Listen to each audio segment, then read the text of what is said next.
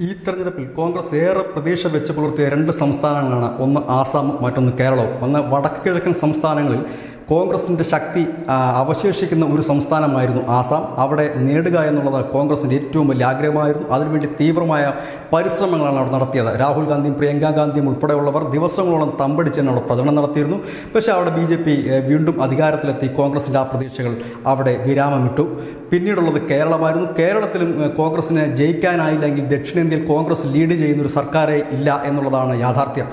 അതായത് ഈ തമിഴ്നാട്ടിൽ ഡി എം കെ മുന്നണിയിൽ കോൺഗ്രസ് ഉണ്ടെങ്കിൽ പോലും പക്ഷേ അവിടെ ഒരു ഒന്നാമത്തെ കക്ഷിയല്ല. പകരം ആ ഡി എം കെയുടെ മുന്നണിയിൽ കീഴിലുള്ള ഒരു ചെറിയ ഘടകകക്ഷി മാത്രമാണ് കോൺഗ്രസ്. പക്ഷേ കേരളത്തെ സംബന്ധിച്ച് അവർക്ക് വലിയ പ്രതീക്ഷയായിരുന്നു. കേരളത്തിൽ ഭരണം കിട്ടിയാൽ അടുത്ത ലോക്സഭാ തെരഞ്ഞെടുപ്പിൽ വലിയ മുന്നേറ്റം ഉണ്ടാക്കാമെന്ന് അവർ കരുതി കോൺഗ്രസിന് വലിയ മുന്നേറ്റത്തിന് പ്രതീക്ഷയും അവർ നൽകി. പക്ഷേ ഈ രണ്ട് സംസ്ഥാനങ്ങളിൽ നിന്നും ഇപ്പോൾ പുറത്തു വന്നിരിക്കുന്ന വാർത്ത വളരെ നിരാശാജനകമാണ് കോൺഗ്രസിനെ സംബന്ധിച്ച്.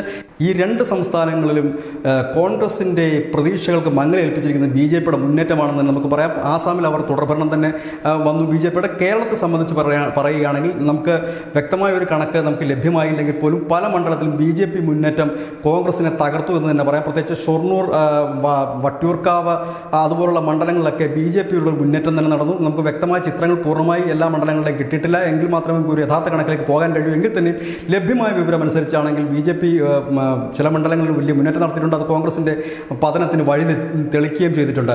ഏതായാലും കോൺഗ്രസിന്റെ ഈ ദുർബലാവസ്ഥയ്ക്ക് ഇല്ലെങ്കിൽ കോൺഗ്രസ് വീണ്ടും ഉണർന്നു വരാൻ കിട്ടിയ നല്ലൊരു അവസരമായിരുന്നു കേരളവും. ആസാം ആ രണ്ടവസരത്തിനും അവസാനമായി ആണിയടിച്ചുകൊണ്ട് ബി ജെ പി അവരുടെ കോൺഗ്രസ് മുക്ത ഭാരതം എന്ന ആ മുദ്രാവാക്യം ആയി മുൻപോട്ട് നീങ്ങുന്നൊരു കാഴ്ചയാണ് നമുക്ക് കാണാൻ കഴിയുന്നത്. ഏതായാലും കോൺഗ്രസിനെ സംബന്ധിച്ച് കേരളവും ആസാമും നഷ്ടപ്പെട്ടത് അവരുടെ ഈ വരുംകാല മുന്നേറ്റത്തിന് വലിയൊരു അടി തന്നെ ആയിരിക്കും. ന്യൂസ് ഡെസ്ക് ന്യൂസിന്റെ മലയാളം.